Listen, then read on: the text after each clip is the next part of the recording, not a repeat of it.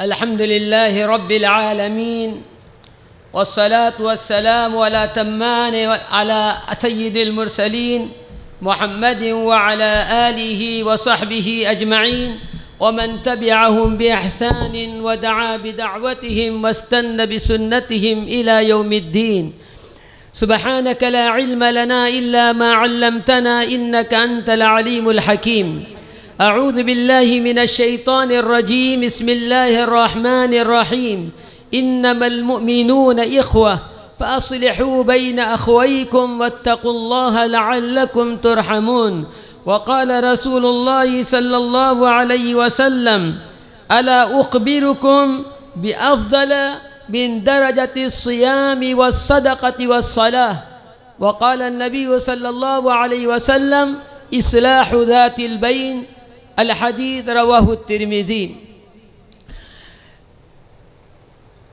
मोहतरम सदर जलसा मुआज़ शख्सियात मुआज़त अहबाब नौजवानों और मेरे प्यारे भाइयों आज की इस मजलिस में उनवान रखा गया है एक शाम महसिन इंसानियत के नाम शाम रात के अख्ताम पर ख़त्म हो जाएगी लेकिन मेरी फेडरेशन के नौजवानों से गुजारिश है कि इस उनवान को ज़रा बदल कर हर शाम महसिन इंसानियत के नाम। तेरह, तेईस स्पोर्ट सेंटर तो फेडरेशन के मेंबर सेंटर हैं। इसके अलावा यकीनन सात उन वो स्पोर्ट सेंटर होंगे जो रुकनीत के मुतमनी होंगे। अगर एक महीने में नबी अकरम सल्लल्लाहु अलैहि वसल्लम के तज़किरे के साथ एक शाम मनाई जाए तो हमारा शहर का हर स्पोर्ट सेंटर, हर शाम महसिन इंसानियत के नाम मनाने में भरपूर मुआविन बनेगा। जिस तरह स्पोर्ट्स सेंटर की तरफ़ से शेड्यूल आते हैं खेल के तो मुझे उम्मीद है कि आइंदा दिनों में शोबे तालीम की तरफ़ से नबी अकरम सल्लल्लाहु अलैहि वसल्लम की शख्सियत से हमको मरबूत करने के लिए हर शाम किसी स्पोर्ट्स सेंटर में दीन, दानश्वरान कौम और मिली दर्द रखने वालों के ज़रिए से नबी अकरम सल्लल्लाहु अलैहि वसल्लम की ज़िंदगी के मुख्तलिफ़ शोबों को जानने की कोशिश की जाएगी। और मुझे उम्मीद है, यहाँ तईद माह रबी अव्वल के इस महीने से हम एक नए काम का आगाज़ करेंगे, जिससे नबी अकरम सल्लल्लाहु अलैहि वसल्लम की मोहब्बत हमारे अंदर बढ़ेगी और आप सल्लल्लाहु अलैहि वसल्लम की शफात के हम मुस्तक बनेंगे। मुझे वक्त की तहदीद के साथ यहाँ खड़ा किया गया है। मैं अपने वक्त के अंदर ही बात समेटने की कोशिश करूँगा। मैंने अपनी बात के आगाज़ के लिए कुरान मजीद की एक आयत और नबी अकरम सल्लल्लाहु अलैहि वसल्लम की एक एक हदीस का सहारा लिया है। मेरे भाइयों, नबी अकरम सल्लल्लाहु अलैहि वसल्लम ने हमको एक जसद वाहिद से किसे के ज़रिए हमारी मिसाल दी है। मसलमिन फ़ी तवादिम व तराहमिम का मसल वाहिद। तमाम मुसलमान एक जिस्म के मानन है। जिस्म के किसी हिस्से में तकलीफ़ होती है तो उस दर्द को पूरा जिस्म महसूस करता है और उसके दर्द की वजह से पूरा जिस्म जगता रहता है। इस एतबार से नबी अकरम सल्लल्लाहु अलैहि वसल्लम ने हम सबों को एक आहानी दीवार बताया है। अलमोमिन कल, अलमोमिन यशुद्दु बादहू बादा कि एक मोमिन दूसरे मोमिन के लिए मज़बूत दीवार के मानन है।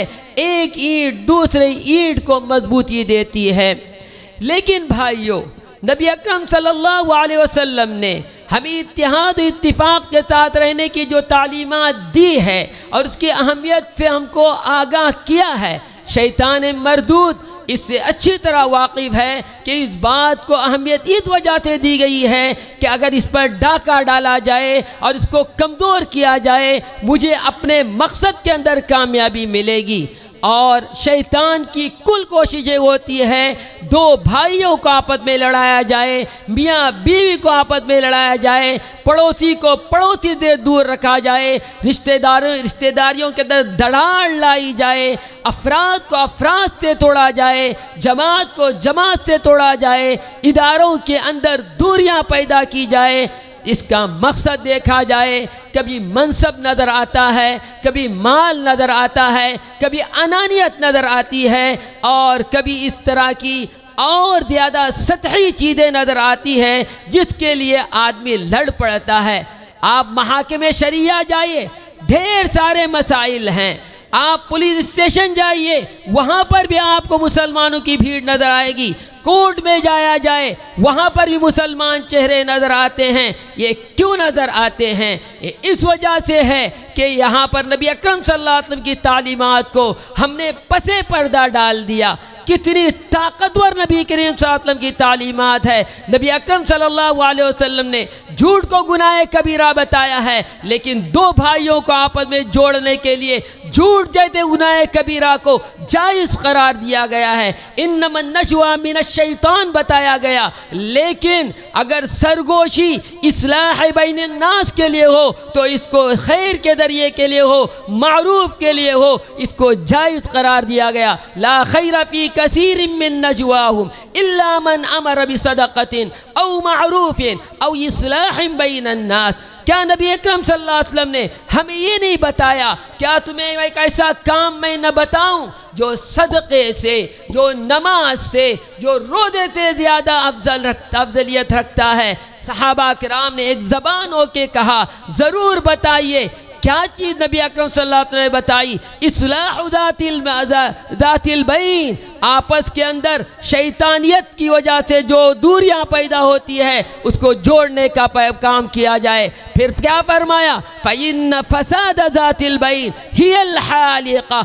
इस दोनों दरारें जो पैदा होती है दो भाइयों के दरमियान, इसकी वजह से ईमान अकीके के ऊपर मबनी आमाल जो होते हैं, सब मुड़ा दिए जाते हैं।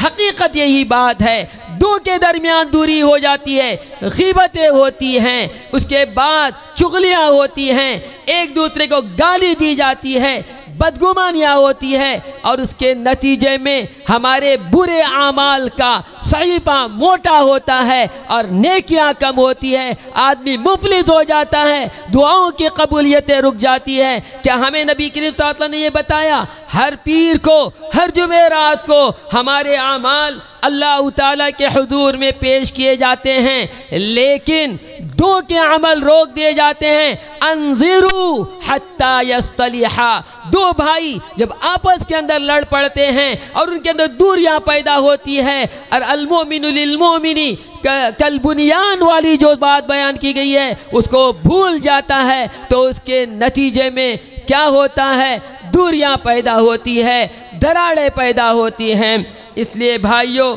मैं आपसे इस बात की गुजारिश करूँगा कि उमी तौर पर देखा जाता है, कहीं पर निज़ार की कैफियत पैदा होती है, उसकी आग को भड़काने के लिए दस लोग आगे बढ़ते हैं और उसके इख्तिलाफात को बड़ा चढ़ाकर पेश करने के अंदर हम लोग बिल्कुल अपनी ईमानी ज़िम्मेदारी को भूल जाते हैं। क्यों ऐसा नहीं होता? दो के दरमियान दूरियाँ हैं तो हर एक के पास जाकर दूसरे के सिलसिले में भली बात कही जाए, ताकि दूरियाँ मोहब्बत और उल्फत के अंदर बदल जाएँ, और जिसकी वजह से हमारे हमारे ऊपर जो खैर बरक़ात उतरने वाली होती हैं, वो खैर बरक़ात के उतरने का सिलसिला रुक जाए।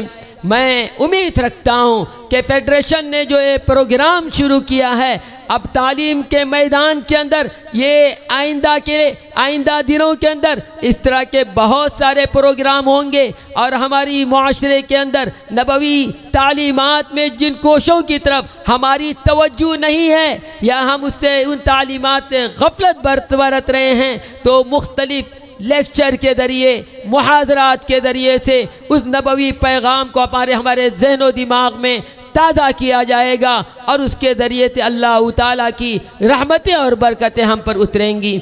मैं तमाम भटकल मुस्लिम यूथ फेडरेशन के नौजवानों से गुजारिश करूँगा, माशाल्लाह आप बहुत अच्छा काम कर रहे हैं, लेकिन ये आपकी इब्तदा है, इंतहा की ज़रूरत है, फितनों का दौर है तूफ़ान फितनों का बहुत तेज़ी से आगे बढ़ रहा है। इसकी रोकथाम के लिए हमको पूरी तरह कमर कस कमर कस देनी चाहिए और इसके सद्दे बाप के लिए हम सद्दे जुल्करनैन बन के खड़े हों। अला नबीना मोहम्मद वाला आलिहि व अजमाइन। वल्हम्दुलिल्लाहि रब्बिल आलमीन।